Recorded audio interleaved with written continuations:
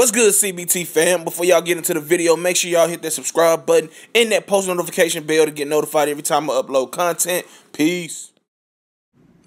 What's good, YouTube? It is your boy Big Cool coming to you from Colossal Boxing Talk. Colossal Boxing Talk is associated with Three Kings Boxing under the movement umbrella, and I am back with another video. Can Badou Jack take the power of Adonis Stevenson?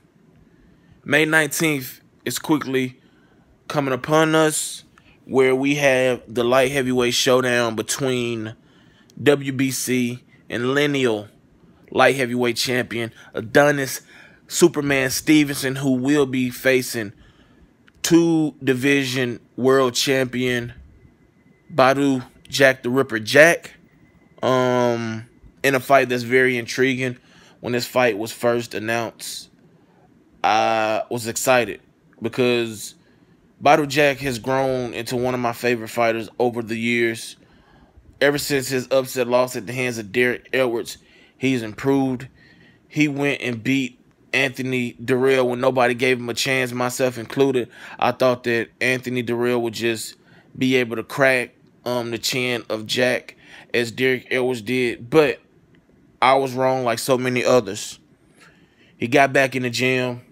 You know, he made the proper improvements defensively.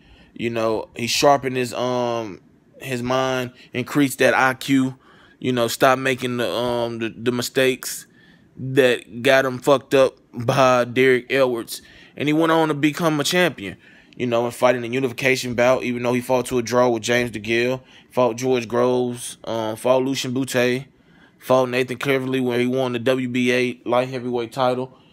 Yes, he vacated it, but he vacated it for a bigger um, fight against Adonis Stevenson.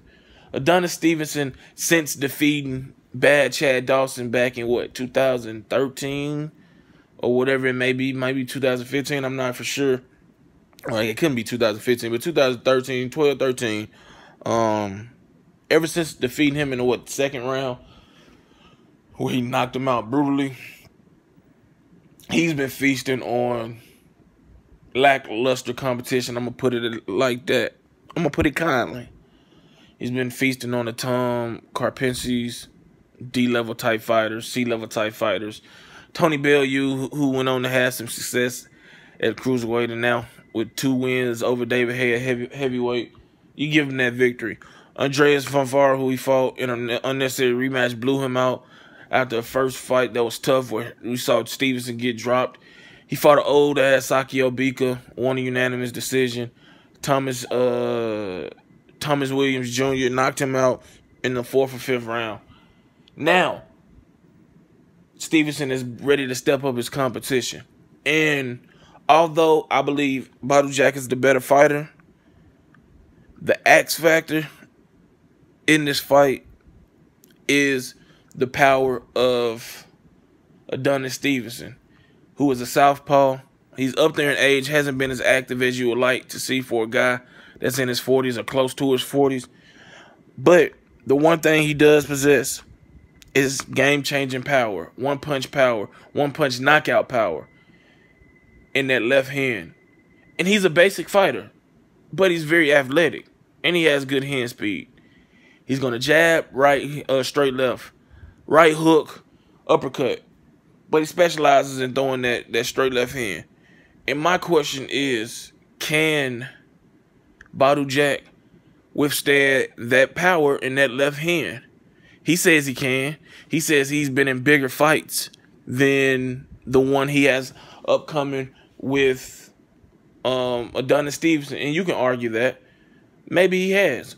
When you're in a unification bout, you can say that although he's fighting the guy that's considered, you know, the who is the lineal, you know, light heavyweight champion of the world, may not be the best, but he has that title. He's the lineal in the WBC, you know, light heavyweight champion. So, um, this is a big fight as well. That's my only concern in this fight. Yeah, in the fight taking place in Canada, it could be some shaky shit, robbery type stuff that goes on if this fight goes the distance. Hopefully that's not the case. But that's the thing that worries me. Will Badou Jack be able to withstand that power once he gets hit because he's gonna get hit. And he was dropped against um, James DeGale, who is nowhere near the puncher that Stevenson is. But I guess we're gonna find out, man.